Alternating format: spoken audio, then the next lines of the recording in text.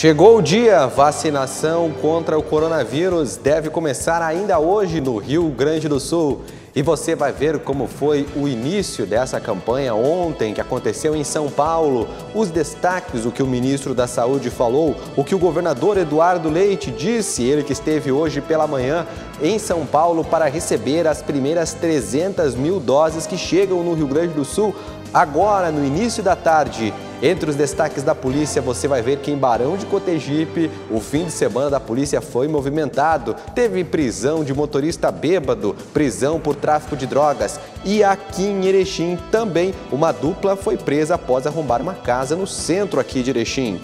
Além disso, nos destaques do esporte, o Ipiranguinha não conseguiu chegar à Série B. Foi por pouco, viu? E também você vai ver como ficou a dupla Grenal. Essas e outras notícias a partir de agora no Bom Dia Notícias, que já está no ar.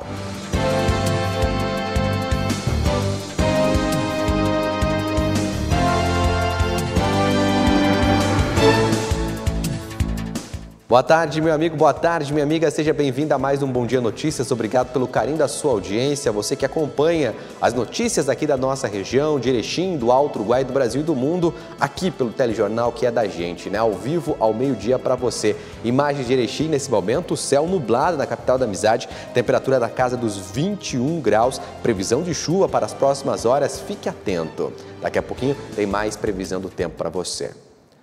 Vamos começar já falando sempre de segurança pública aqui no nosso telejornal. Olha, um vandalismo provocou estragos no interior de Barão de Cotegipe. Parece brincadeira essa história toda, mas na verdade é um crime, viu? Olha, um agricultor que estava colhendo a safra de milho, além de ter várias perdas agora por causa da seca, também teve uma perda gigantesca numa das colheitadeiras. É porque alguém amarrou junto aos pés de milho materiais de metal, aí até pedaço de caminhão teve, viu, para estragar a colheitadeira. A Polícia Civil está investigando esse caso e quer saber o motivo e quem fez isso. Veja. Imagens que circulam na internet mostram uma prática de vandalismo que está causando prejuízo para alguns agricultores no Alto Uruguai Gaúcho. No vídeo feito em uma propriedade no interior de Barão de Cotegipe, esse agricultor que trabalhava na colheita de milho mostra como foi surpreendido por pedaços de ferro, foices e até mesmo um cilindro de freio de caminhonete F1000 amarrados em pés da plantação. O material acabou entrando em uma encilhadeira e destruiu o equipamento. Segundo o agricultor, os entulhos foram puxados pelo equipamento e, por causa da rotação, acabaram sendo arremessados com força para fora e poderiam ter atingido uma pessoa.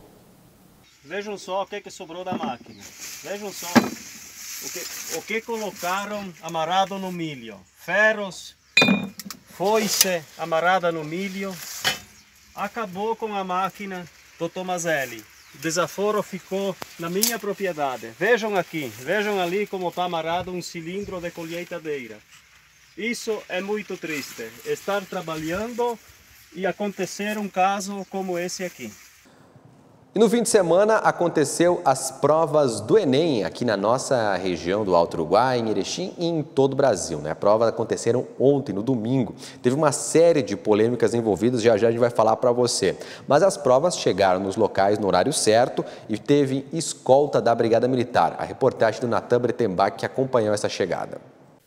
A Brigada Militar de Erechim e Getúlio Vargas realizou um apoio a funcionários dos Correios, escoltando os malotes com as provas do Exame Nacional do Ensino Médio, o Enem, realizadas neste domingo. O trabalho começou ainda durante a madrugada, quando os policiais foram até a cidade de Passo Fundo, onde foi entregue as provas. Ao final do exame, os policiais passaram em todos os locais de prova recolhendo os malotes e, por fim, encaminhando os mesmos para Passo Fundo. Já já a gente fala mais do Enem para você, viu? Desse atraso aí que aconteceu em que alguns alunos não puderam fazer a prova. Má organização do Ministério da Educação. Daqui a pouquinho a gente vai falar mais para você sobre isso. Vamos seguir falando de segurança e olha uma dupla arrombou uma casa no centro aqui de Erechim Este caso aconteceu durante a madrugada da última sexta-feira, quando a Brigada Militar foi até a Avenida Uruguai, no centro, onde vigilantes informaram que, ao verificar o alarme de uma residência, perceberam que dois homens saíram correndo da casa ao perceberem a presença dos mesmos. Um dos homens foi alcançado e abordado aí. Segundo a polícia, a dupla já havia furtado duas extensões e uma serra mármore, além do material todo o material que já foi recuperado. Diante dos fatos, o homem de 41 anos que foi preso, ele foi encaminhado à delegacia de polícia e logo após foi ouvido e liberado. Ele vai responder, claro, pelo crime de receptação, já que não foi pego em flagrante lá roubando né, esses objetos.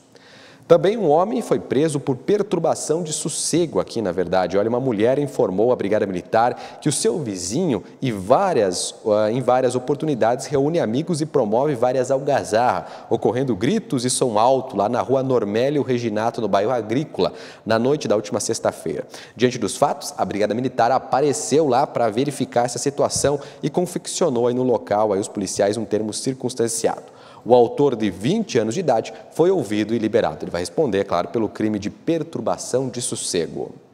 Também um, olha só, pacotes são arremessados no presídio aqui de Erechim. Foi durante a tarde do último sábado, quando os policiais que trabalhavam no sistema de vídeo monitoramento perceberam o momento em que os indivíduos arremessavam diversos objetos em direção ao pátio interno do presídio e logo após fugiram em um veículo modelo Ford Escort. O carro, com as mesmas características, foi abordado lá na rua Reinaldo Agnonese, no bairro José Bonifácio.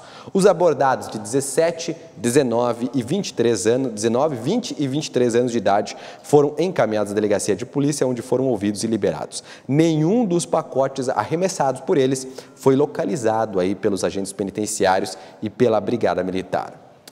Também um carro furtado foi recuperado lá em Trindade do Sul. O veículo modelo Fiat Palio de cor vermelha foi encontrado na comunidade de Linha Giraú, no interior do município, na tarde do último sábado. Segundo a polícia, o veículo teria sido furtado, foi que o veículo teria sido furtado, foi encaminhado e entregue à delegacia de polícia de Nonoai, onde o registro do fato, após o registro desse fato, ele foi devolvido então ao seu proprietário. Né? Excelente trabalho da Brigada Militar. E por falar em excelente trabalho da Brigada Militar, olha, um casal que é de Parobé, cidade da Serra Gaúcha, foi preso em Barão de Cotegipe por tráfico de drogas. Eles teriam ido até o município a mando de uma organização criminosa, de uma facção que atua aqui em Erechim, para vender entorpecentes lá. Menos de 24 horas a casa deles caiu e os dois agora estão no presídio de Erechim. Um casal natural de Parobé, na Serra Gaúcha, foi preso por tráfico de drogas na noite do último sábado em Barão de Cotegipe.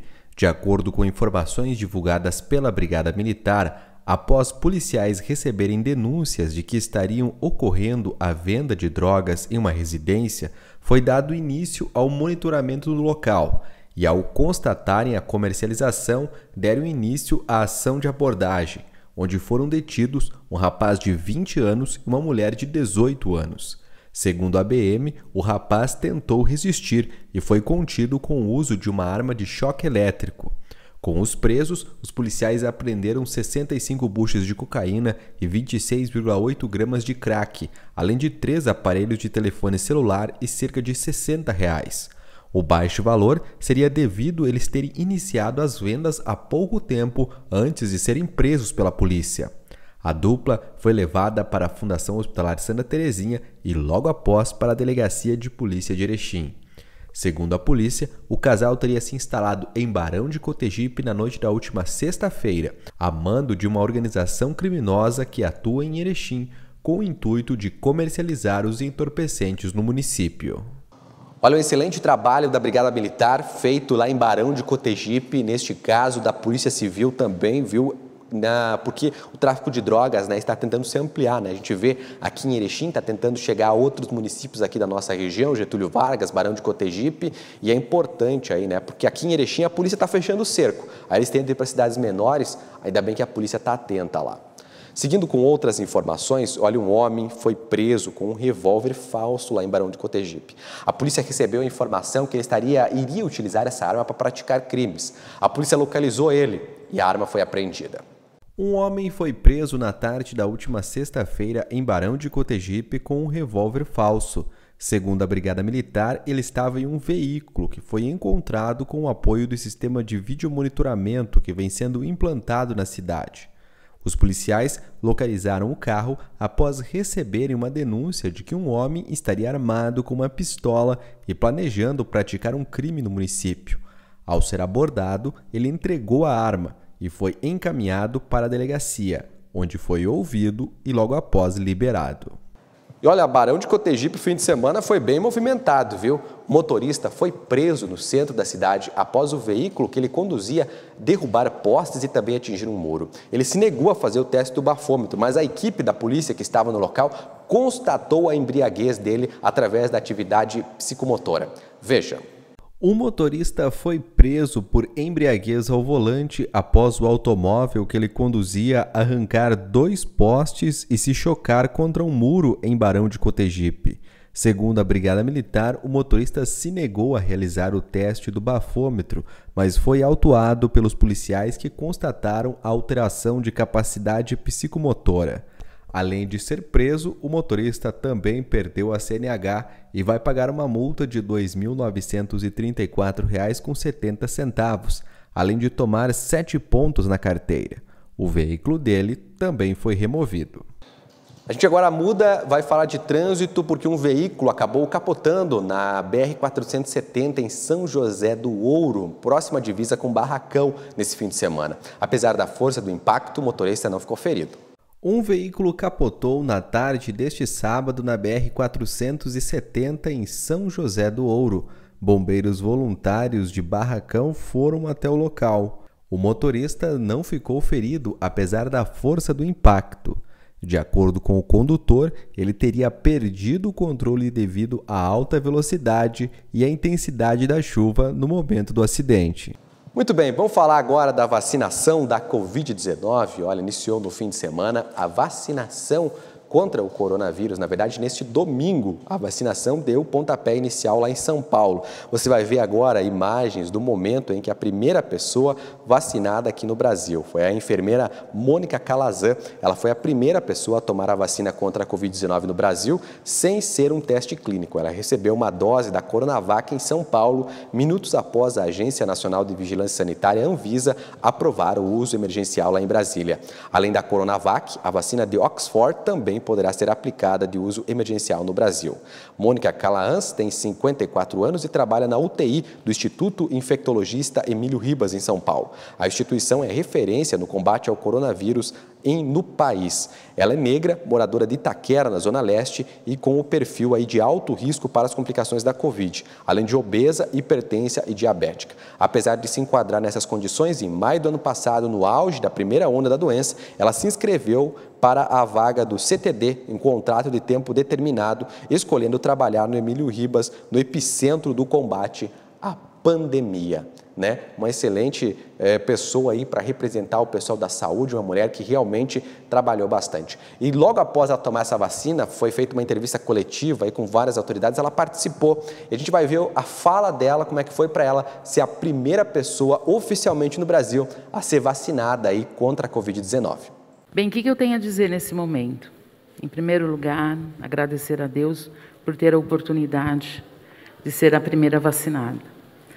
Em segundo lugar, ter orgulho do meu trabalho como enfermeira do Emílio Ribas, da UTI do Emílio Ribas, né? uma UTI que hoje está lotada, e lotada de pacientes com Covid. O que, que eu falo além disso?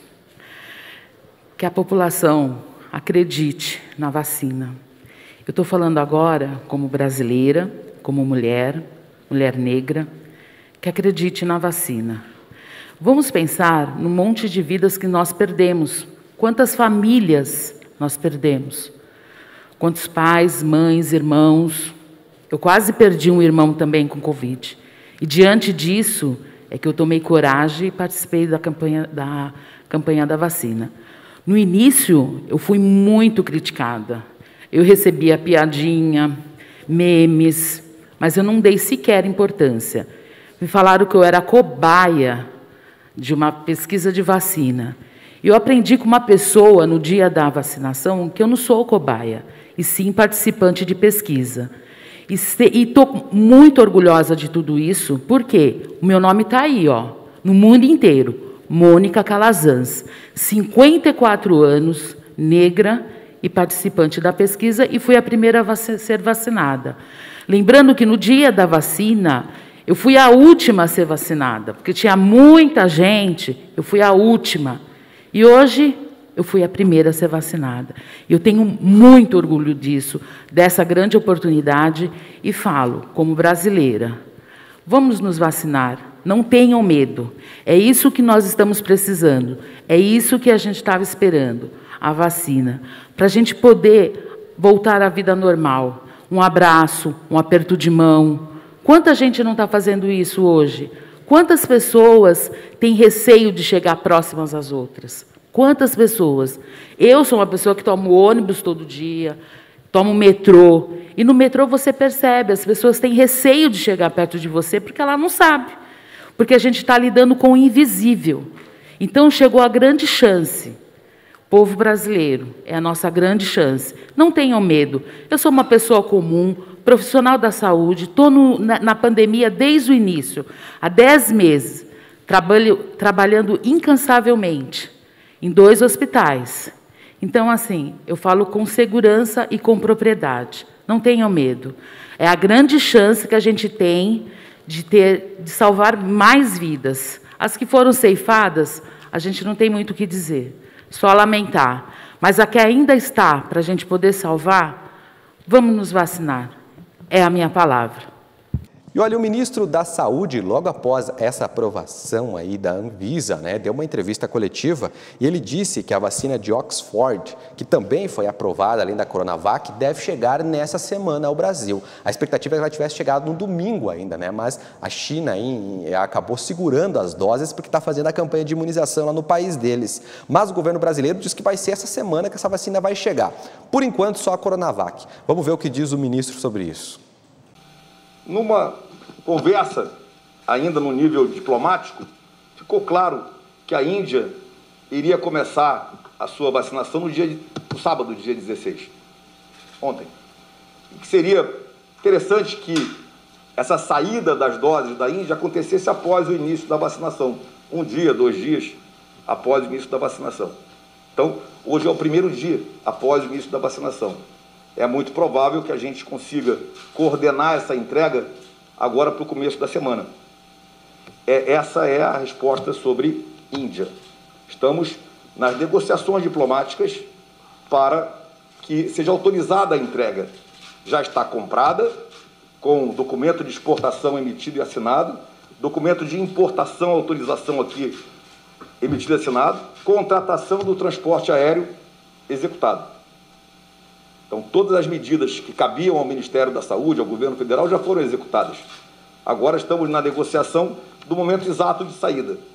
Vamos entender também que a pressão que pode existir no Brasil também existe em outros países. Começar a sua própria vacinação ou autorizar a saída antes da própria vacinação podia ter algum tipo de estresse. Então, foi postergado mais um ou dois dias. Mas continuo confiante de que esta semana nós receberemos as vacinas da AstraZeneca. O ministro Pazuello também destacou nessa entrevista coletiva um pedido geral para que as pessoas não diminuam aí os cuidados né, da, de prevenção da Covid-19. Ou seja, continue usando máscara, álcool gel, essas situações, porque a vacina tem, além de ser dada em duas doses, ela tem o período que ela precisa para funcionar. Veja a fala do ministro. Não é tomar a vacina e relaxar as medidas preventivas e de cuidados, tá bem? Então nós vamos atingir os objetivos de cada vacina, no caso da do Butantan, em mais de 40 dias após a primeira dose. Aí nós vamos atingir aquele objetivo daquela vacina que está apresentado, é, digamos, de forma muito clara pela Anvisa, não precisamos voltar ao ponto aqui. Quais são os objetivos alcançados por cada vacina? Esses objetivos chegarão, no caso do Butantan, a partir de 40 dias, 44 dias, 42 dias, pelo que me foi apresentado ontem. E é, volto a dizer, não podemos, em hipótese alguma, relaxar as medidas preventivas. O uso de máscara, álcool em gel na mão, o distanciamento social em, em, em, em situações como essa, por exemplo, de distanciamento que estamos, é, aglomerações e todas as medidas que a gente já conhece. Também quem se manifestou ontem oficialmente, logo após a divulgação da Agência Nacional de Saúde, a Anvisa, foi o governador Eduardo Leite do Rio Grande do Sul. Em um vídeo breve nas redes sociais, ele falou aí da expectativa do Rio Grande do Sul, que deve receber cerca de 13, vai, que vai receber cerca de 300 mil doses da Coronavac. Veja. Entre 200 mil e 300 mil doses são esperadas neste primeiro envio, né, salientando que uh, uh, Primeiro teremos as vacinas com a Coronavac do Instituto Butantan e em seguida, além da Coronavac, Instituto Butantan devem se associar aí ao Programa Nacional de Imunização também a vacina desenvolvida pela Oxford AstraZeneca eh, na parceria com a Fiocruz, que também em seguida, já adquiridas pelo Ministério da Saúde, vão compor o Plano Nacional de Imunização. Então, vai ter vacina, o Rio Grande do Sul se preparou e nós esperamos até quarta-feira, talvez na própria terça-feira, amanhã, no, na reunião com os governadores lá em Guarulhos, com o Ministério da Saúde. A gente espera poder fechar aí a estratégia para dar largada neste programa de imunização tão aguardado. Nesse mesmo vídeo, o governador destacou que a vacinação aqui no estado vai começar pelos profissionais de saúde e também pelas pessoas que estão em instituições ah, de longa permanência, o caso dos asilos. Né? Veja na reportagem. Agora é importante salientar para toda a nossa população. Vai levar tempo, né? Primeiro começam com as equipes de saúde, quem está na linha de frente da, do enfrentamento ao coronavírus, a imunização. Temos os grupos prioritários em seguida, tudo definido dentro do Programa Nacional de Imunização. Leva tempo até que a gente tenha a imunização de grande parcela da população e, portanto, ainda é muito importante que todos continuem se cuidando, usando a máscara, lavando constantemente as mãos, usando álcool em gel e mantendo o distanciamento social para evitar que a gente tenha maior disseminação do vírus. Todos os cuidados para que, agora junto com a vacinação, a gente possa superar finalmente esse quadro da pandemia e termos um 2021 melhor para todos nós. Não, agora se você viu a fala do Eduardo Leite, agora sim a gente vai trazer uma reportagem para você que mostra que a vacinação que estava prevista para iniciar até a próxima quinta-feira aqui no estado, vai começar ainda na tarde dessa segunda-feira. O governador Eduardo Leite esteve em São Paulo recebendo as doses. Natan Bretenbach conta para gente agora essa reportagem. Começou nesta segunda-feira a distribuição a todos os estados brasileiros da vacina contra a Covid-19. O governador do Rio Grande do Sul esteve em São Paulo para receber, em nome dos gaúchos, 341 mil doses da Coronavac, vacina do Instituto Butantan, feita em parceria com o laboratório Sinovac, que serão distribuídas ao Estado. De acordo com Eduardo Leite, a vacinação começa ainda nesta segunda-feira no Rio Grande do Sul, por meio de uma autorização do ministro da Saúde. Nós estamos aqui no centro logístico, onde está sendo feita a distribuição, a organização para a distribuição dessas 6 milhões de doses que vão aos estados para o início da imunização. O Rio Grande do Sul recebe essas seis, uh, essa sua parte da, da carga, cerca de 300 mil doses, para iniciar ainda nesta segunda-feira, no final do dia, a imunização contra o coronavírus no estado do Rio Grande do Sul. As primeiras doses começam a ser transportadas em breve para o estado que já está pronto com a logística para iniciar o envio para todas as 18 regiões de saúde. E a região de Erechim já se prepara com insumos para receber essa vacinação. Até o momento, a Coordenadoria Regional de Saúde não informou quantas doses deverão vir aqui para a região do Alto Uruguai Gaúcho. Mas as prefeituras já estão se preparando com seringas e agulhas. Erechim diz que está preparado para iniciar a campanha o quanto antes. O governo do estado anunciou nesta semana que irá comprar mais de 3 milhões e meio de reais em seringas e agulhas. São mais de 10 milhões de unidades para a campanha de vacinação contra a Covid-19. Segundo um levantamento feito pela Secretaria Estadual de Saúde, o estado já teria cerca de 4,5 milhões de seringas e agulhas, o que seria suficiente para iniciar a campanha. Mas muitos municípios, principalmente no interior do estado, estão preocupados com a quantidade de material necessário. De acordo com um levantamento feito pela Coordenadoria Regional de Saúde, em todo o Alto Uruguai seriam apenas 10 mil seringas e agulhas, um número muito abaixo do que aquele necessário. A coordenadora da Secretaria Municipal de Saúde aqui de Erechim não informou em números a quantidade de seringas e vacinas que o município tem disponível para iniciar uma campanha de vacinação, mas disse que a cidade está preparada. Além disso, o município também aguarda a divulgação das vacinas e de insumos que viriam juntamente com elas. Uh, nós estamos preparados e organizados, toda a rede está estruturada com a rede de frios nas salas de vacina e também na nossa central. Os insumos, eles uh, normalmente eles vêm com a vacina junto, o Ministério da Saúde encaminha para o Estado e o Estado uh, envia para nós.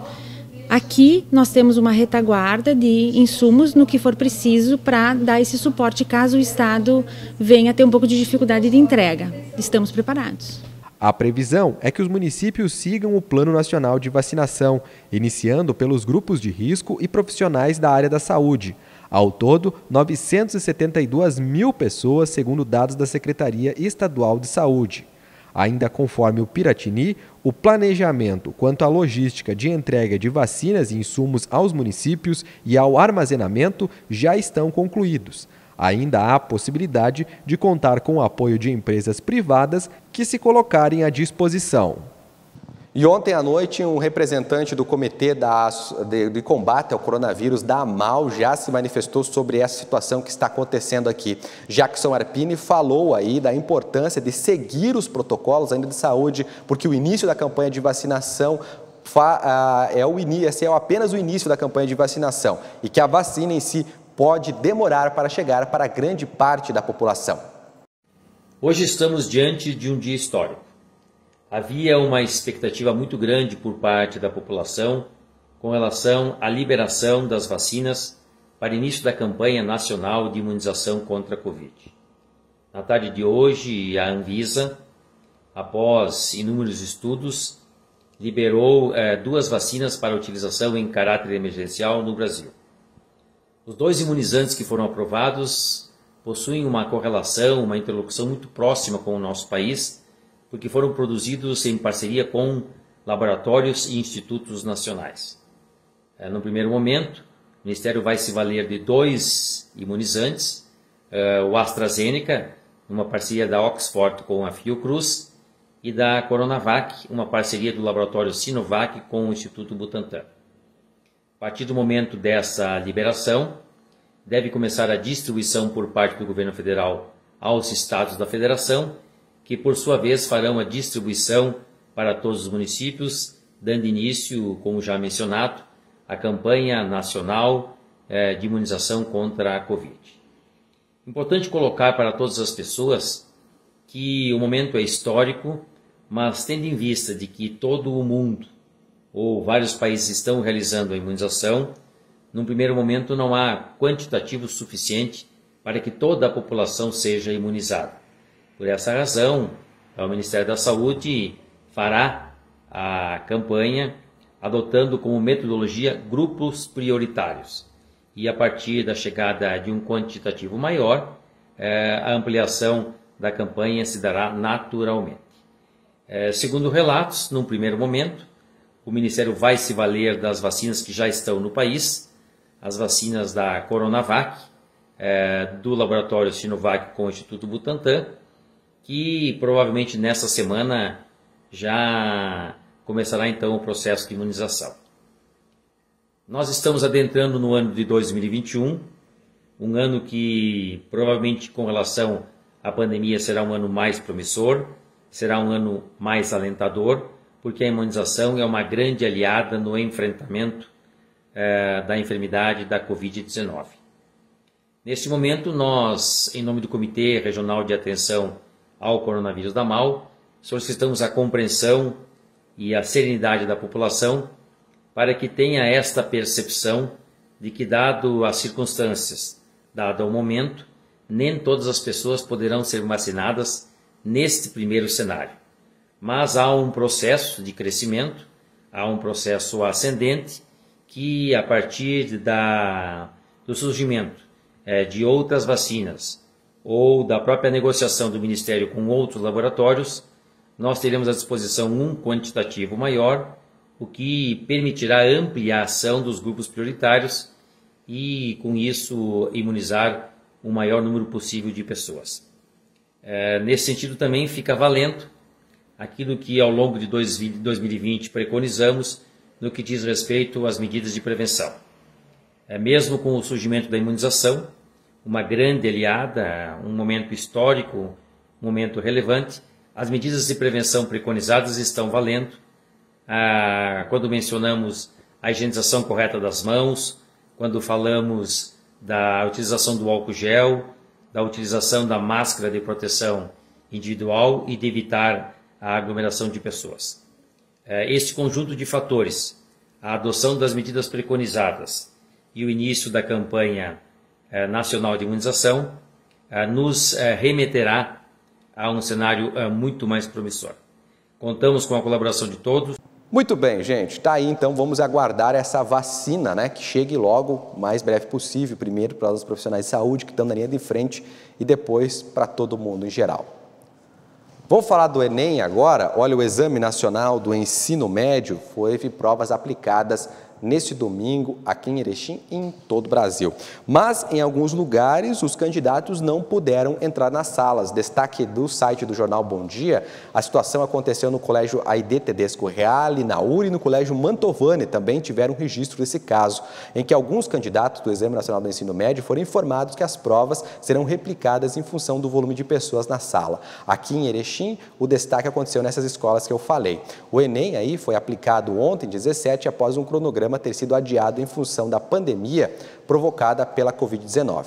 De acordo com o diretor, por exemplo, da instituição, essa foi uma determinação judicial né, deste caso aí. Destaque para você entender melhor sobre esse fato que aconteceu. Mas o INEP diz que vai investigar aí por que, que esses estudantes não conseguiram entrar nas salas. Segundo o presidente do INEP, o combinado com as instituições aí que iriam aplicar a prova é que haveriam mais salas, né? E caso os alunos atingissem essa capacidade, os alunos iriam para outras salas. Fato que não aconteceu, né? E agora ele garantiu que quem não fez a prova nesse domingo vai poder refazer ela mais para frente. Veja a fala do INEP que diz que vai investigar esse caso. Com relação a alguns relatos de pessoas que foram ao local de prova e não conseguiram fazer, o que, é, o que nós temos até agora de, é, de identificadas situações que iremos apurar o, o que aconteceu foram um, é, um, 11 locais de prova dos 14.400 e. Aqui, dos 14 mil. Bota aí. Dos 14.447 locais de prova, tivemos 11 locais de prova ah, com aparentemente alguma dificuldade dos alunos poderem ah, realizar a prova. É importante salientar que nenhum aluno, nenhum participante será prejudicado. Qualquer participante, seja por qualquer motivo, que se sentiu prejudicado em qualquer lugar, é, do Brasil, a partir do dia, como está previsto no edital, a partir do dia 25 de janeiro, ele poderá solicitar a reaplicação feita nos dias 23 e 24 de fevereiro. Então, ninguém será prejudicado, todos poderão é, ter a sua nota do Enem. E essas situações que foram reportadas na imprensa, nós vamos a, a, a verificar, a gente precisa uh, olhar a ata da sala para compreender o que aconteceu. E, enfim, é só o participante, com tranquilidade, no dia 25, na página do participante, ele solicita a reaplicação e será deferida. Não, há, não, há, não haverá nenhum, nenhum problema em relação a isso. Olha, outro destaque dessa situação do Enem foi o baixo número de participantes aí, né? Teve uma abstenção de cerca de 50,1%, ou seja, mais da metade das pessoas que se inscreveram para fazer o Enem não foram fazer o exame, segundo o INEP, né? Mesmo assim, o ministro da, o ministro da Educação considerou que a prova foi um sucesso. Veja. Então eu fico é, satisfeito com o que nós fizemos no meio de uma pandemia, embora é, eu me admirasse até mesmo com o número de abstenção, que foi alto, é, diferente do ano passado, foi perto de 23%. Esse ano nós dobramos a abstenção, mas houve também um componente diferente, que foi no último momento, a possibilidade de algumas inscrições de ofício, não é isso? Quer dizer, 700 mil pessoas fizeram algumas inscrições é, sem qualquer é, contrapartida financeira. É, a isenção foi dada de ofício. A isenção foi dada de ofício. Então, é, nós sabemos que muitas vezes o aluno ele, ele faz a inscrição e, eventualmente, ah, não paguei nada, eu posso faltar ou não. Enfim, é, isso é coisa da juventude mesmo. Então, algumas, algumas situações que foram é, relatadas aqui.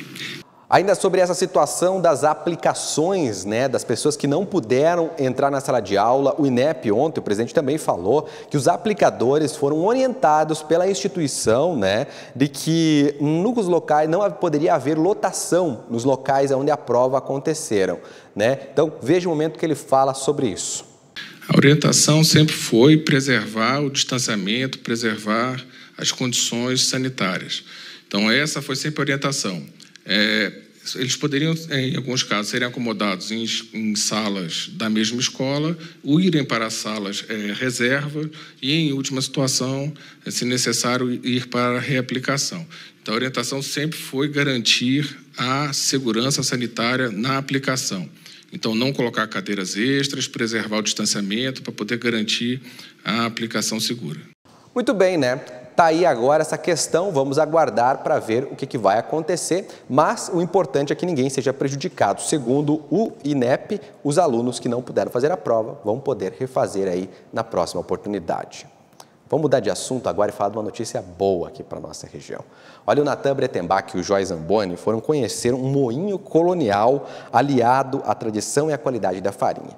Viu? O moinho é uma coisa aí que nossos antepassados utilizavam muito, né? Cada cidade tinha o seu moinho. Aqui em Erechim, inclusive, tem um gigante aqui no centro da cidade, né, que funcionava um moinho muito tradicional. Essa, essa, essa, essa situação lá da história, né, segue acontecendo no interior. Nós vamos conhecer como é que funciona este moinho de farinha, que é um exemplo aqui para a nossa região e para os agricultores e para os locais aqui de todo o nosso estado e do país. Veja nessa reportagem muito especial.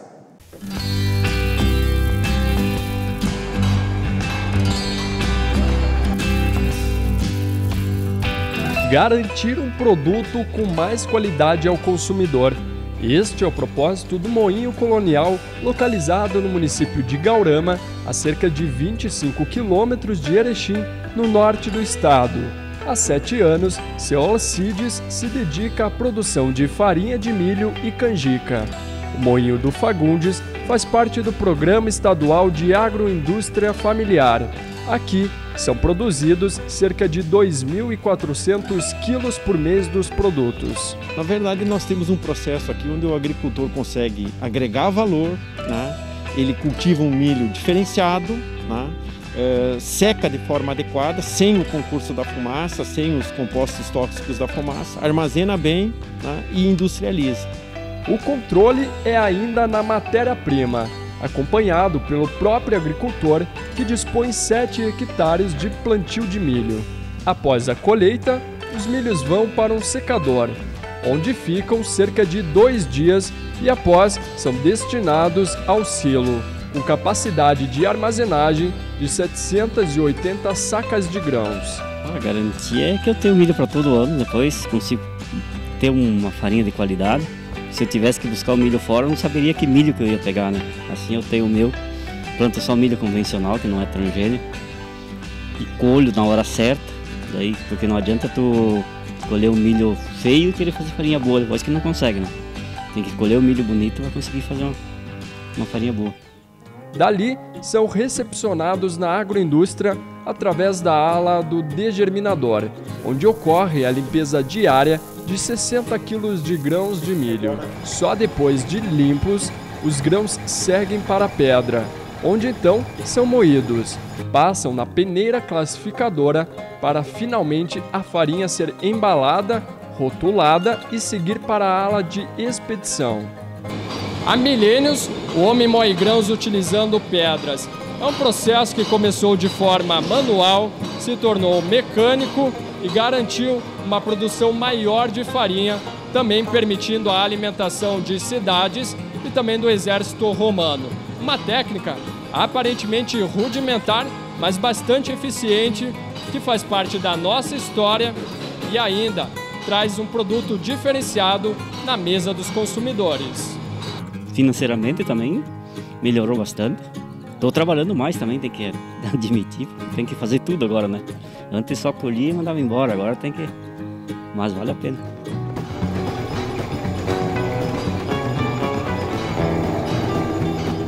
Uma das curiosidades é que todo o processo aqui é movido por energia solar.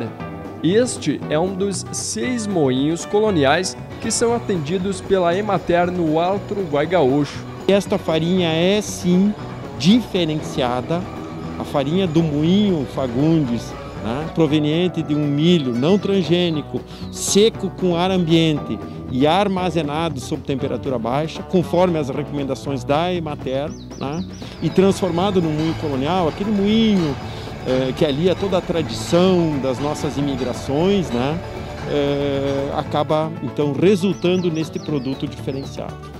Os produtos do Seu Fagundes abastecem mercados em quatro cidades no norte do estado. Isso agrega valor para ele e gera para o município e para a comunidade desenvolvimento. Né? Isso é o nosso povo né? transformando as nossas matérias-primas e agregando um pouquinho de valor. Então, ganha ele, ganha a comunidade, ganha o município, ganha o consumidor que está recebendo um produto de melhor qualidade. É por, por ter o silo, que a Imater me deu um apoio técnico aí, que eu não tinha nem ideia como se fazia. Daí eu melhorou bastante, porque eu tenho onde guardar e consigo guardar, que o primeiro ano que eu tinha moinho eu não tinha silo. Daí foi problema, quando era metade do ano, um pouco mais, não tinha mais milho de qualidade. Tive que parar de produzir. E agora com o silo de armazenar tudo tranquilo, posso trabalhar o ano inteiro numa boa.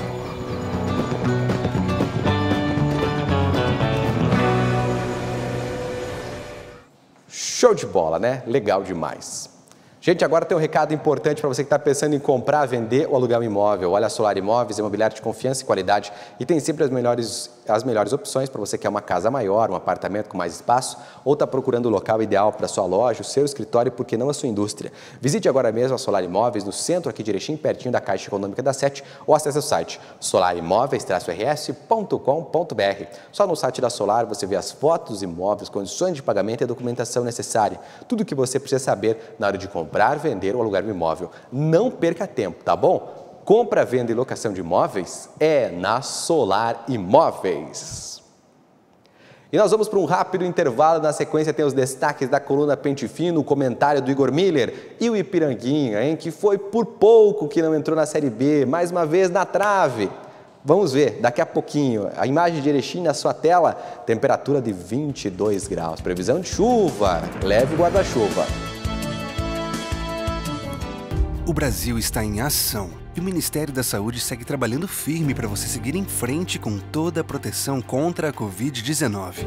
Foram distribuídos medicamentos, equipamentos e repassados mais de 62 bilhões de reais para estados e municípios. E em breve, tão logo sejam aprovadas as vacinas, serão definidos os critérios para os grupos que podem ser vacinados. Tudo para você exercer o seu direito de se vacinar, se tiver indicação. Para isso, Todas as etapas de segurança precisam ser cumpridas. Informe-se, prepare-se, cuide-se. Baixe gratuitamente o aplicativo Conect SUS e tenha sua caderneta digital de vacinação em mãos com seu histórico de vacinas. Avise amigos, vizinhos, parentes para que também baixem o Conect SUS. Acesse gov.br/saúde para saber mais. Brasil imunizado. Somos uma só nação. Quando o seu dinheiro circula na economia local, ajuda a desenvolver toda a sua região. Participe desse movimento você também. Vamos juntos contribuir com quem é daqui. Alô, nosso povo caipira de Erechim, Alto Uruguai. Eu sou o Jordano, apresentador do programa 100% Caipira, e eu estou convidando você para assistir o nosso programa todos os sábados, às 8 da noite, aqui pela TV Bom Dia. Você é o nosso convidado. O povo admira, fizemos o que amamos Enquanto for vivo, vamos ser 100% caipira. Um ciclo está se fechando para o início de um novo. e a TV Bom Dia inicia uma nova fase. TV Bom Dia, a região se encontra aqui.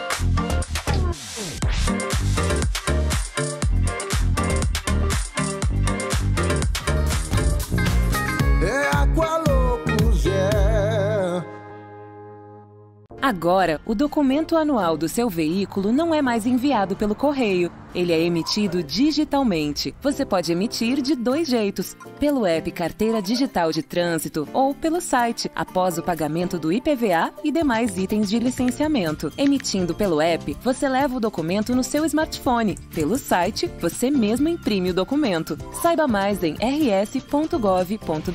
Detran RS e Governo do Rio Grande do Sul. Novas façanhas. O Master sempre tem muita oferta. E o cliente Master Mais Vantagens economiza ainda mais. Faça já o seu cadastro e aproveite. Tá no Master, tá em casa. Olá pessoal, meu nome é Vanderlei Madaloso, sou médico infectologista. Estou aqui hoje para falar sobre o Covid-19 com vocês. Estamos com um aumento significativo no número de casos e no número de internações nos hospitais e em toda a nossa região. Venho pedir para vocês manterem as medidas de prevenção. O uso da máscara sempre que você sair de casa, usar o álcool gel nas mãos, manter o distanciamento entre as pessoas e evitar aglomerações. Conto com vocês. Covid mata. Não seja a próxima vítima. O cenário da pandemia do Covid-19 está se agravando, com o um aumento expressivo de casos ativos e a elevação das taxas de ocupação dos leitos hospitalares. O comportamento da sociedade reflete diretamente nos indicadores da Covid-19. Se for possível, fique em casa. Se tiver que sair, adote com rigor as medidas de prevenção. Evite locais com aglomeração. A prevenção e o cuidado são as nossas únicas armas. Cuide-se, cuide de quem você ama. Nesse minuto, ele está pensando no primeiro carro. Ela pensa em trocar. Eles pensam em reformar a casa. E muitos estão pensando em como sair do vermelho. Tem os que planejam investir no negócio e também nas próximas férias. Seja qual for o seu plano, a Cressol tem o crédito ideal para realizá-lo. Crédito Cressol. O Master traz até você a nova loja de compras virtual, loja.mastersupermercados.com.br. Num clique, sua compra está em casa. Acesse loja.mastersupermercados.com.br. Selecione os produtos de seu interesse, cadastre-se e faça o pagamento com os cartões e receba suas compras em casa. É fácil, prático e seguro. Loja virtual Master Supermercados. Num clique, sua compra está em casa. Master Supermercados. Tá no Master? Tá em casa.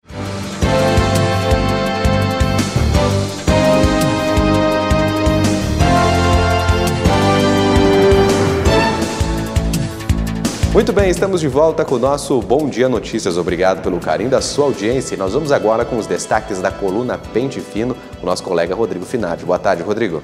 Boa tarde, Leandro. Mas antes de falar um pouquinho, eu queria só duas informações antes de falar da coluna. Primeiro que eu venho acompanhando esse novo programa aí do Café da Manhã, do Bom Dia, aí muito bom, né?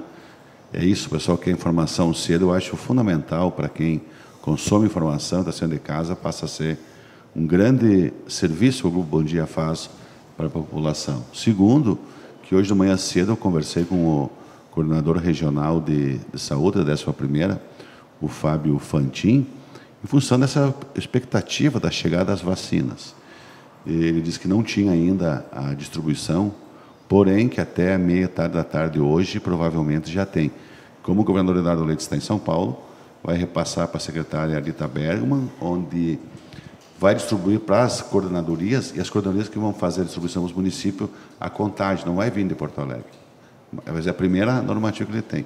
Pelo número de habitantes, de idosos, para cada cidade, profissional de saúde, vai ser feito um cálculo nas coordenadorias para repassar.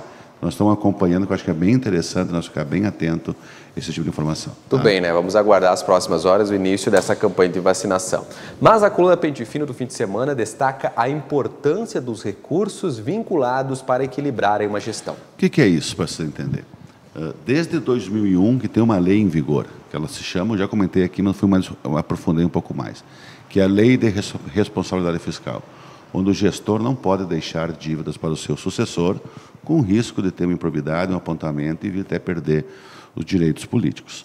E se faz necessária essa matéria porque, antes de 2001, o prefeito ele fazia o que queria, tipo um caixa único, com poucas rubricas específicas, e acabava, se ele tinha uma característica mais empresarial, ele ia mais para o lado da indústria. Uma característica mais social, ia para o lado da, da, da- da distribuição, entendeu? Então, hoje, o que, que faz? O recurso vinculado, ele dá essa garantia. Porque se tu pegar aqui embaixo, quer ver? Hoje, em Erechim, são mais de 60 rubricas específicas de 2021 para 2021, onde tu vê aqui, ó, todo prefeito adora falar dos recursos livres, que é o único que vale. Não é. Porque o recurso vinculado também paga a conta. Por exemplo, salário educação união. Tem em caixa, na verdade, do ano, 4,74 milhões, porque é para pagar professores. Então, tu paga professor, que é teu funcionário, e não sai do recurso livre. Então, os caras que têm. Então, tem que cuidar quando se fala de recursos livres, porque eu acho que é um exagero o cara achar que só tem aquele dinheiro para usar. Esse é vinculado, ó, transporte escolar paga o vinculado. Fundo Municipal dos Direitos da Criança e Adolescente é fundo vinculado. Fundeb é recurso vinculado. Que bom que tem. Então, os caras são obrigados a gastar em determinadas áreas e não precisa tirar dos recursos livres. Graças a Deus, Erechim, desde 2001, com essa lei também, acho que todos os prefeitos tiveram essa consciência, até primeiro para preservar ele, dois mandatos lá janela, dois mandatos Polis, um mandato Schmidt, agora eu acho que não vai ser diferente com o Polis. Todos foram muito responsáveis com os recursos públicos. Tu pode não concordar, ah, investiu aqui, coisa ali, políticas, né? Agora, ninguém deixou o município comprometido para outro. Sempre com recursos em caixa, uns mais, uns menos, mas ninguém deixou o outro com dificuldades. Então, Erechim não tem dívidas, é uma cidade bem gerida nesse sentido. Então, eu só quis reforçar que o, que o recurso vinculado, ele paga contas. Pagando contas, tu não precisa usar o dos recursos livres. E é muita coisa que ele paga conta no município. Olha, e a impressão dos primeiros dias do governo Polis e Flávio? É pouco tempo, mas eu gosto sempre de comparações. tá? Eu, eu acho que o governo Polis e Flávio ele é mais proativo. A gente vê que algumas coisas que vinha patinando, e aquele falar, falar, falar aqui, parece que devagarinho começa a ganhar um, um novo ritmo. Então, essa proatividade pode ter reflexos positivos para o município. Aí eu relembro uma frase que o próprio Polis falou do teu, no início do seu, nos 100 dias do seu segundo mandato, que foi perguntada uma avaliação para ele, isso em 2009, 12, 2013. Falando assim, tu está satisfeito com, o- com o ritmo dos teus secretários? E ele disse, uma administração não é uma corrida de 100 metros, é uma maratona. E nem todo mundo tem a mesma velocidade. Hoje ele não sente isso, mas com o tempo, o ritmo do gestor vai se dar em função de como ele for cobrar. Se vai aguentar o que anda pouco ou não, se vai substituir ou não.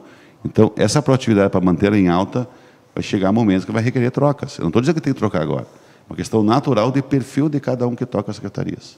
Muito bem, olha, atravessando a rua da Câmara para da Prefeitura para a Câmara de Vereadores, o vereador Chelski é o líder da bancada dos tucanos lá na Câmara de É, Vereadores. para lembrar que o PSTB é o segundo maior partido da Câmara de Vereadores, com três vereadores. O, o Chelsea, que é o mais velho, que é o segundo mandato, o Carlinhos Magrão e o, o Alisson Soares. Ele, então, entre o grupo deles, ele vai ser o líder da bancada, o vice-líder é o Wallace, e ele diz que vai, essa questão de oposição, não por ser oposição, mas vai cobrar do município de uma posição inteligente para que o município ande. Interessante. A oposição também é importante para o equilíbrio de gestão. Sempre digo, oposição responsável, não aquela de sair gritando. A oposição tem um papel fundamental para ajudar a corrigir rumos. Muito bem, aqui outro destaque, a Câmara tem que, tem que recuperar o respeito, a independência e o protagonismo. Conversei rapidamente com o senador Lazier e também com o assessor dele, eu fiz uma pergunta para ele se o meu assessor vai entrar em contato contigo. Ele vai apoiar a Simone Tebet para presidente do Senado, né? Que ele queria que ele concorresse, daí ele botou uma pá de caixa que ele não vai concorrer, que ele acha que é apoiar a Simone porque é a primeira mulher na história da Câmara dos Deputados que pode presidir um, poder sempre por homens. E ele alega que a Câmara tem que recuperar o respeito, a independência o protagonismo, que tem muita coisa que ele não acredita dentro do, do Congresso Nacional. Né? Então é só um tópico não é local, mas é um senador da República que representa nós também. Na coluna da sexta-feira, você não teve aqui, mas a gente traz como destaque, você conversou também com o Sanderson, que fez uma avaliação do governo Bolsonaro, você conversa direto é. com ele, que é o representante direto lá do governo, o líder do governo na Câmara. Natural de Erechim, né? né? É aqui de Erechim, né? Como é que tu vê, como é que ele está vendo a situação do governo Bolsonaro agora, frente à pandemia, toda a situação que está acontecendo? Com essa questão, aí? ele disse, no momento de crise que vivia, que São Paulo coloca vacina, o, o, o presidente não quer, aquele negacionismo que acontece. E ele teve com, várias vezes com o Bolsonaro na semana passada, ele disse que ele, ele tem a prioridade número um, que era a vacinação. E eu, ah, tomara que seja isso, que a gente mude o, o, o, o tom que a gente vê das entrevistas a nível nacional, das colocações dele, e parece que no final de semana meio que andou isso, né? Então torcemos que. Ó, barulhinho bom aí, pessoal. né? Dessa questão do é, que é um ponta de lança que a gente tem lá, que a gente tem lá em Brasília. Então a gente tenta ver o que está acontecendo ao lado do presidente. Às vezes ele me responde de uma maneira boa de estar tá mais próximo do Planalto Central, né? Muito bem. Tá aí os destaques da coluna Pente Fino e amanhã, Finagem. Na segunda as coisas andam mais devagar, né? Não tem mais encontros por final de semana, mas nós, eu acho que vai ser em cima dessas pequenas informações, de repente não sair matéria também para reforçar a importância da vacina os cuidados da vacina, eu vou ter que abordar umas conversas que eu tive hoje, porque as pessoas não podem estar a vacina aí, acham que pode não passar álcool gel, não precisa usar máscara, tem que continuar tudo igual. Senão, não vai adiantar. Não, não pode vir um milhão de vacina, não vai adiantar. Então, tem que cuidar dos cuidados, é um tempo finito, vai ter que tomar para outras doses. Ela não é a cura imediata, eterna, né? Também. Mas ela vai te dar uma sobrevida, assim, de tu não pegar então nós temos que tomar cuidado de manter esses protocolos de, sanitários para quem tomar não passar e a gente conseguir passar até vir uma, definitiva, uma vacina definitiva. Né? Beleza. Vai tomar vacina ou não vai tomar vacina? Sempre irei tomar. Eu sempre sou a favor da ciência. Sempre em qualquer assim, ó, uh, digamos assim, se eu quero, se eu furar um pneu do carro, eu vou no mecânico. Se eu tiver que trocar uma parte do motor, eu vou numa oficina. Se eu tiver que, sei lá, uma dor de dente, eu vou no dentista. Então, eu, eu, prefiro acreditar sempre no médico que nos políticos, né? Verdade. Se eu quiser ficar bem informado, liga lá na coluna Pente Fino, no digital do Cada um na sua, eu te tá digo, tá não adianta lá. querer inventar a roda, cara. Certo. Ninguém vai, no grito, achar o que é certo ou errado. Que é, tu quer ser assim, não quer tomar, não tome, que nem isso assim, ó. Que nem eu botei assim, ó. Uh, foca no dia. Se você quiser tomar a vacina, tome. Se você não quiser tomar, não tome, mas não enche o saco dos outros. É mais ou menos essa história. Não vamos fazer uma disputa política em cima de algo tão grave, que eu acho que isso é mostra que a nossa, nossa democracia é frágil, demonstra que o brasileiro precisa evoluir em muitas coisas para nós chegar. Vacina é a ciência. Precisa quatro, cinco anos para uma vacina boa? Precisa. Mas o esforço que todos fizeram, eu acho que a Thay fez um comentário hoje de manhã, que muita gente se esforçou, virou noite, 24 horas, não pararam de trabalhar, de produzir. Não é melhor e não é melhor, mas é o que nós temos. Se nós não tivéssemos, era pior. É isso, se não tivesse a vacina, é pior. Aí vem aquela briga, porque é tudo da China, não sei o quê. Conversando com um cara de direita, extrema direita, disse assim, Rodrigo, quem não quiser a China, tem que jogar fora seu televisor, tem que jogar fora seu celular, que sempre vai ter um componente da China.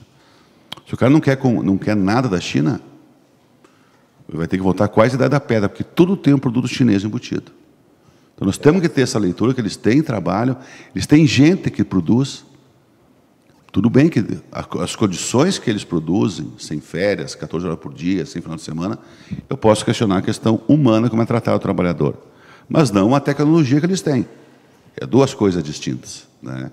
Não pode ser nem tanto ao céu até ao inferno, tem que ter um, tentar ter uma leitura mais ou menos centrada, para não ficar repassando informações e cria essa celema que o nosso país tem de quem é de A não é de B, é contra A, B, contra C. Cara, não existe mais isso, cara. Nós temos que evoluir. E essa é a minha preocupação enquanto cidadão. Obrigado, Finade. Até amanhã. Obrigado. Gente, agora nós vamos com o comentário do Igor Miller. Te liga porque opinião você também vê aqui.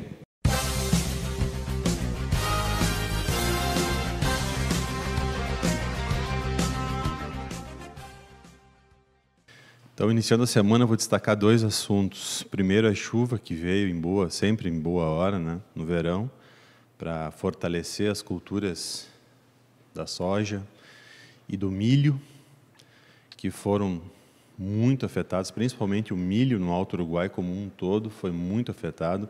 Lavouras inteiras foram perdidas com a seca.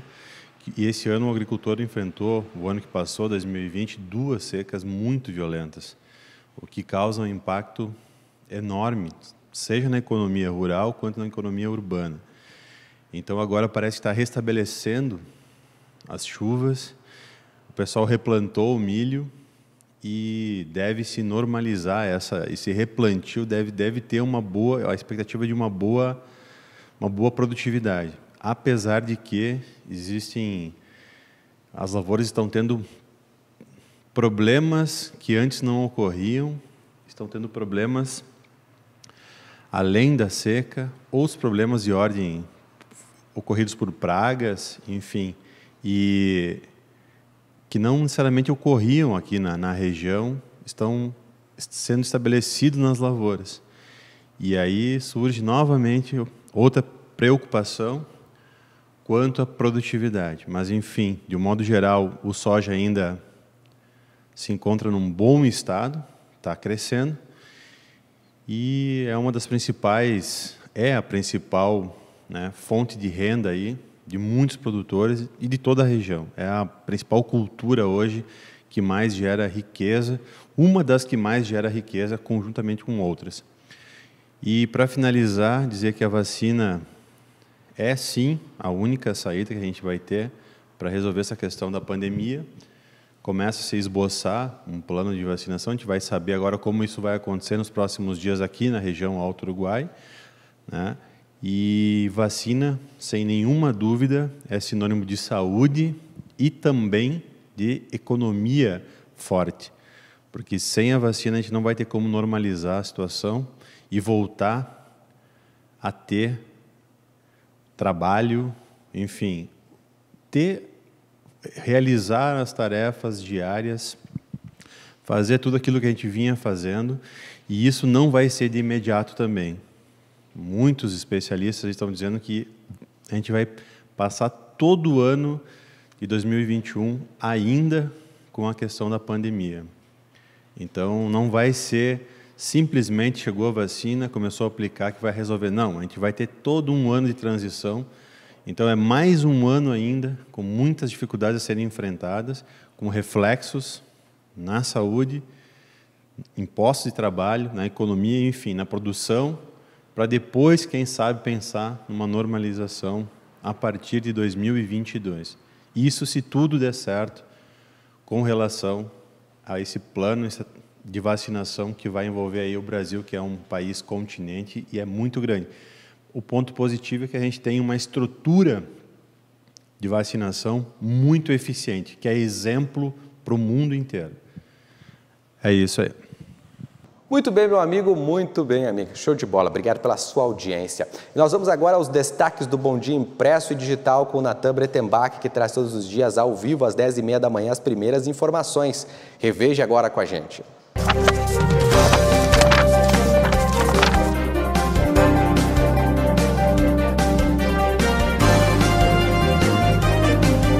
Vamos agora saber quais são os destaques do Jornal Impresso e Digital do Bom Dia, edição deste fim de semana, que no sábado teve jogo do Ipiranga com o Paysandu. O Canarinho acabou vencendo, mas como o Londrina acabou ganhando do Remo, tirou a classificação, infelizmente, do Ipiranga o acesso à Série B.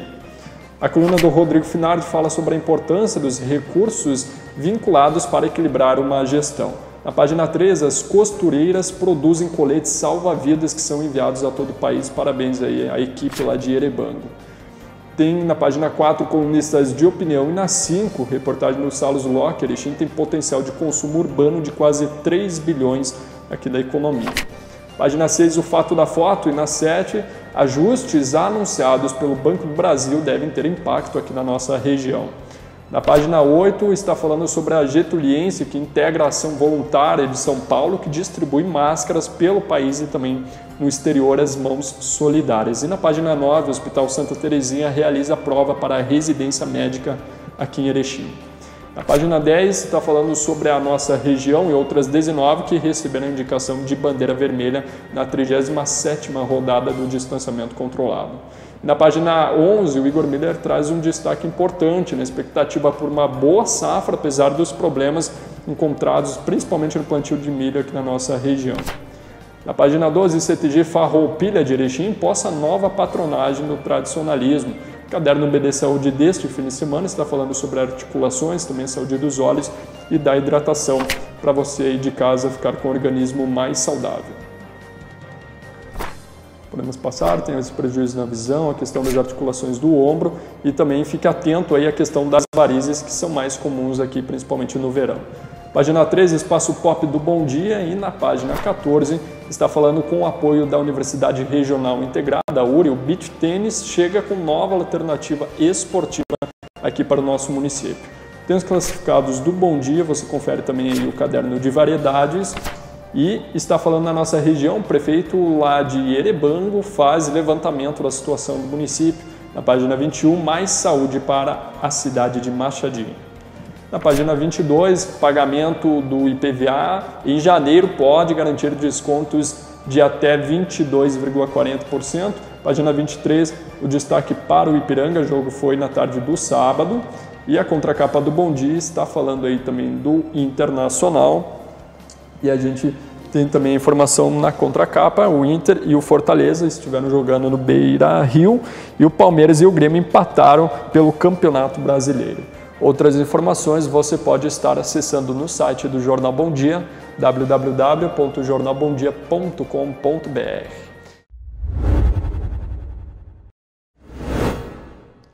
Vamos falar de esporte agora? E olha, o Ipiranguinha, o nosso canarinho, foi por pouco que não chegou à Série B. O time de Erechim até fez a sua parte, venceu o Paysandu por 1 a 0, mas precisava torcer para que o Londrina perdesse para o Remo. Olha, o Remo até foi bem, né? E atacou lá no, no, Mangueirão, mas acabou fazendo um gol contra aos 37 minutos do segundo tempo. Com isso, Remo e Londrina foram classificados. E o Paysandu e o Ipiranga aqui em Erechim ficaram fora. Vamos ver como é que foi esse jogo na reportagem. Mesmo sem poder entrar no estádio, os torcedores do Ipiranga receberam a equipe em frente ao Colosso da Lagoa com muita fumaça. Em um sábado de muita chuva, o time da casa precisava vencer o Paysandu e torcer para o Londrina perder ou empatar com o Remo para garantir o acesso à Série B. Em uma partida equilibrada, o jogo esquentou mesmo no segundo tempo, logo aos dois minutos, quando Muriel escapou pela direita e cruzou na área. Mossoró apareceu livre e quase na marca do pênalti e sem deixar a bola cair, bateu com força no canto e balançou as redes. No Mangueirão, o resultado paralelo necessário para o Canarinho também seguia garantido, e ao contrário do primeiro tempo, era o Remo que mandava no jogo com até então duas bolas na trave.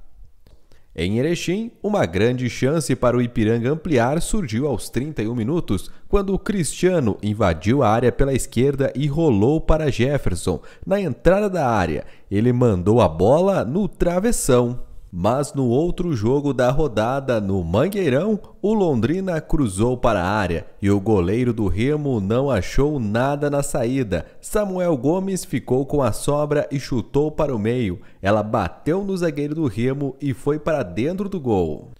Com este resultado, tanto o Ipiranga, que venceu a partida por 1 a 0, quanto o Paysandu ficaram na Série C. Já Londrina e Remo subiram para B em 2021. O sentimento é de tristeza, né, por não alcançar o objetivo e a gente ter feito nossa parte aqui. Mas serve de aprendizado, né? Acho que, que a equipe está de parabéns. Né? Acho que quando começou a competição, ninguém esperava que o Ipiranga ia chegar até essa fase.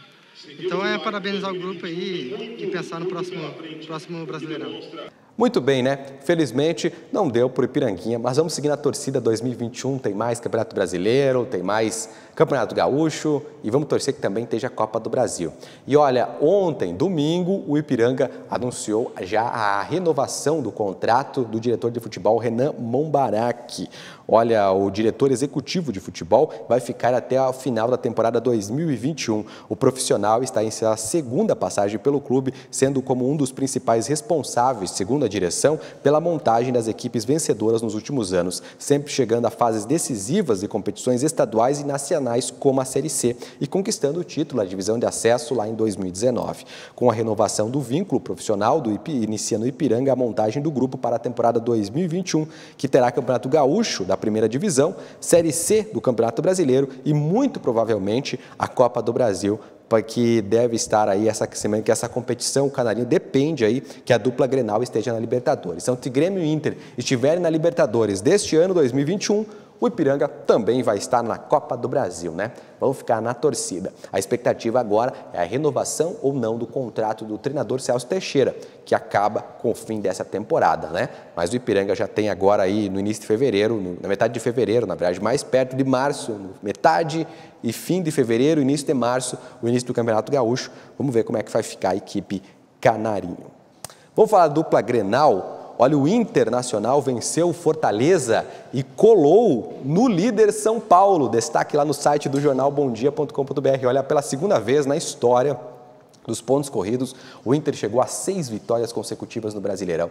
Diante do Fortaleza, a partida iniciou às 8h30 deste domingo. Os comandados de Abel Braga chegaram aos 56 pontos após um triunfo de 4 a 2 e ficaram a um ponto apenas do líder São Paulo. O adversário da próxima rodada da quarta-feira, às 9h30 da noite, no Morumbi. Agora, então, é o jogo da final, né? É, é literalmente é o jogo da final. Inter e São Paulo na quarta-feira é uma final. E, para mais emoção, no fim de semana, além tem Grenal, né? Tem o Grêmio pela frente. Então, olha, Está aí o Internacional fazendo uma campanha, pode ser campeonato, pode ser campeão brasileiro. Precisa ganhar do São Paulo e ir bem contra o Grêmio no fim de semana. E toda essa pressão da equipe fez com que o treinador Abel Braga, logo após a partida, falasse como é que ele vai trabalhar a cabeça dos seus jogadores para que fiquem tranquilos com essas decisões. Porque, de repente, se falava muito pouco do Inter e eu estava gostando muito daquilo e tentava explicar aos jogadores que ia chegar um momento que ia começar a surgir uma série de armadilhas. Aí que mora, mora o perigo. Então, nós não estamos. O que eu vou trabalhar é no, no, no mental, posicionar a equipe na terça-feira naquilo que nós pretendemos de estratégia, porque não há tempo, né? não há tempo hábil. E vamos jogar contra um adversário muito bem trabalhado, muito bem, está com o treinador já há um, há um bom tempo. Jogo difícil. Para nós é esse. Nós vamos nos preparar para quarta-feira. E cada vez será o próximo jogo. Cada vez está funilando mais, tá, tá, as dificuldades são grandes. Você fala de sã consciência. Essa equipe teve até mais posse de bola do que nós. Nós tivemos as melhores chances. Mas é, você viu o Goiás, que está na zona de rebaixamento. Você viu hoje o Fortaleza, que está ali próximo. O que essa equipe joga, cara, a transição deles de troca de posição. Vocês não querem acreditar. Parece que vocês não gostam, porque vocês não costumam valorizar aquilo que nós temos. Esse campeonato é o campeonato mais difícil do mundo. Põe isso na tua cabeça. Por isso que a gente curte e vibra muito com cada vitória. Muito bem. Olha, tá aí o Internacional. Vão ficar na torcida, né? Quem sabe um título brasileiro nacional aqui. Faz muito tempo que o Rio Grande do Sul não tem um brasileirão, né? Quem sabe dessa vez? Na torcida pelo Colorado. E quem está também aí, estamos na torcida, é pelo Grêmio, né? Que vai ter nessa semana o primeiro jogo da final da Copa do Brasil e na sexta-feira enfrentou o Palmeiras aí, né? Uma espécie de pré-jogo na final da Copa do Brasil, jogando lá no Burumbi. O time tricolor ficou no empate na noite da última sexta-feira, jogando pela trigésima rodada do Campeonato Brasileiro. O jogo poderia ser considerado uma prévia da final da Copa do Brasil, quando as duas equipes voltaram a duelar. No Allianz Parque, o tricolor empatou em 1 a 1, mas teve enormes dificuldades no primeiro tempo e poderia ter sido goleado. O goleiro Vanderlei foi o destaque do jogo. E com isso, o Renato Portaluppi disse que nessa semana pretende fazer um treino aí lá na equipe no gramado do São José, porque a grama do Allianz Parque e do São José aqui em Porto Alegre é aquela sintética, né? Então, segundo o Renato, pode ter ser isso o diferencial aí para o time ter ido mal no primeiro tempo. Veja a avaliação dele desse jogo. Foi outro, jogou bem melhor, jogou muito melhor do que o primeiro tempo, jogou mais que o Palmeiras no segundo tempo. Então acredito que foi dois tempos distintos. O Palmeiras nos envolveu na primeira etapa, o Grêmio melhorou muito no segundo tempo, envolvendo a equipe do, do, do Palmeiras. Mas é, são duas grandes equipes, não é por nada que estão na, na final da, da, da Copa do Brasil. Quanto aos clássicos, hoje também foi um clássico. É uma equipe que está brigando por tudo esse ano aí. Está brigando inclusive pelo Campeonato Brasileiro. É sempre muito difícil enfrentar o, o, Palmeiras. Mas acredito que principalmente pelo segundo tempo nós merecíamos ter vencido. O Grêmio foi bem. Então não tem jogo fácil. O Grêmio jogou duas partidas difíceis fora de casa. Uma contra o Fortaleza que está brigando contra o rebaixamento. Outros com o Palmeiras que está na final da Libertadores, final da Copa do Brasil brigando pelo Campeonato Brasileiro. Lógico que a gente sempre joga para vencer, mas nem sempre é possível. Mas as contas que eu faço com o meu grupo é que nós encostamos mais um ponto no, no, no líder do campeonato. Agora é com, com, com São Paulo. Acho que é importante que buscamos as vitórias, nós somamos dois pontos fora de casa e, e agora praticamente na quarta-feira a gente tem o um jogo em casa com o Atlético, é mais um confronto direto e depois o Grenal. Muito bem, gente. Olha, mais informações para você do esporte em jornalbomdia.com.br. Vamos conferir como é que fica o tempo nessa segunda-feira. A Tainha do Carmo traz as informações para a gente.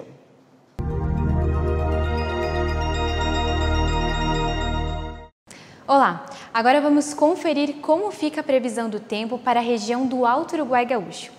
De acordo com a Clima Tempo, aqui na nossa região, o tempo prossegue com chuvas isoladas e as temperaturas vão ficar bem agradáveis. Isso ocorre devido a uma frente fria que ainda está atuando sobre o nosso estado, fazendo com que ocorram possíveis chuvas e trovoadas. Vamos conferir como ficam as temperaturas. Em Erechim, a mínima será de 18 graus, a máxima de 25, pode chover cerca de 16 milímetros e a umidade relativa do ar será de 78%.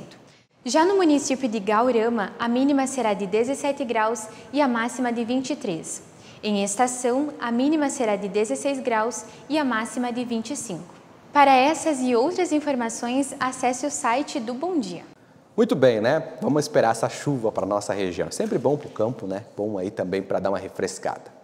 Agora chegando o quadro Bom Dia Entrevista. E olha, no Bom Dia Entrevista da última sexta-feira, a Tayane, que você viu aí agora na previsão do tempo, conversou com o presidente da Sutraf Alto Uruguai, Douglas Senzi.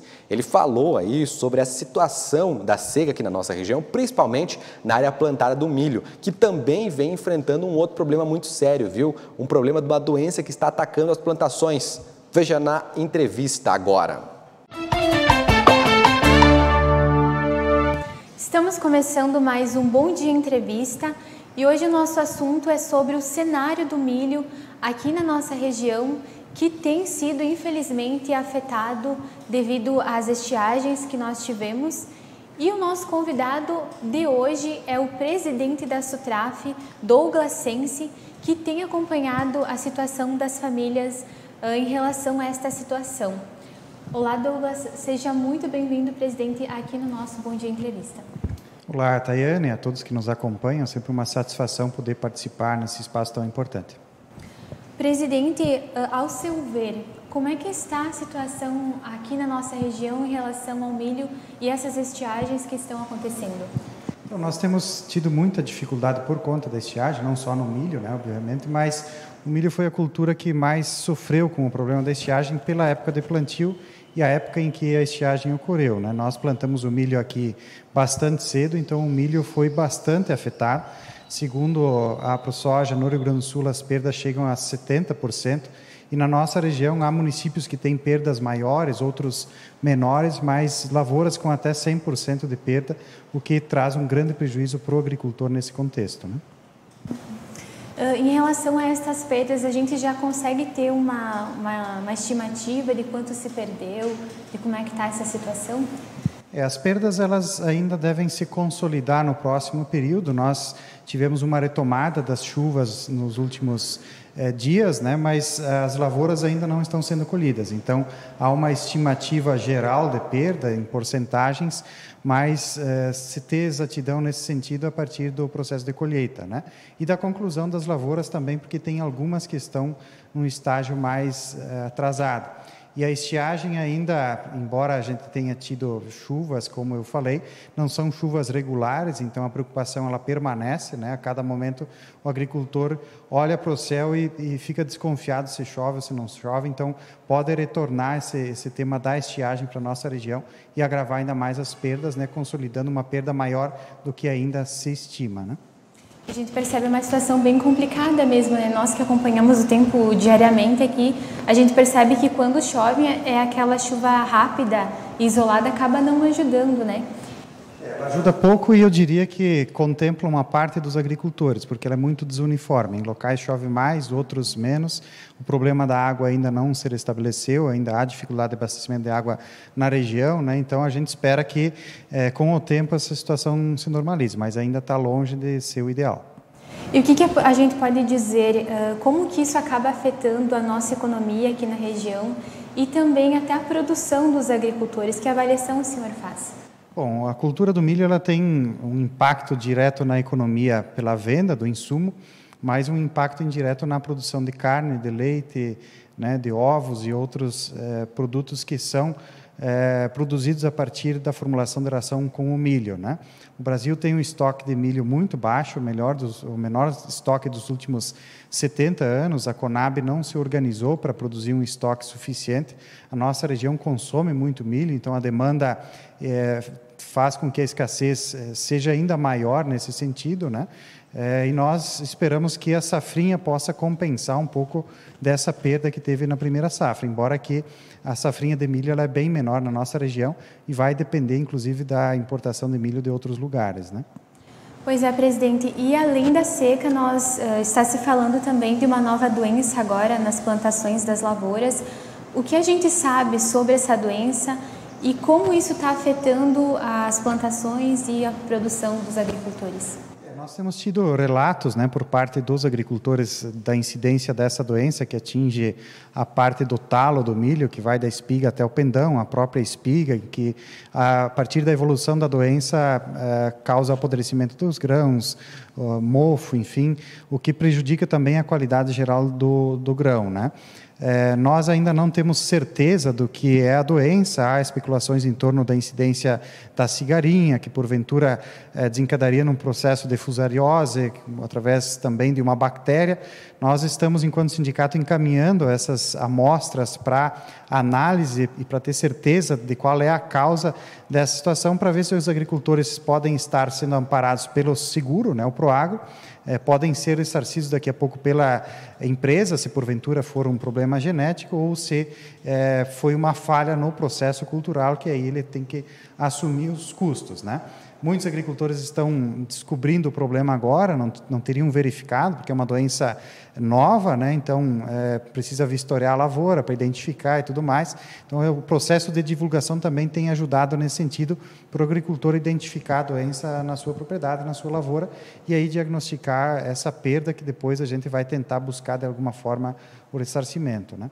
Nesse sentido desses dois problemas, né, tanto da seca quanto dessa doença que ainda está se descobrindo, o que, que a Sutraf uh, vem desenvolvendo, que trabalhos estão sendo realizados para auxiliar os agricultores que estão sendo atingidos com essas duas situações? Então, nós uh, temos dialogado com o governo, tanto do governo do estado quanto do governo federal, é, entendemos que já na safra passada nós tivemos uma quebra muito significativa na produção, tanto de, milho, de soja, de outras culturas. Né?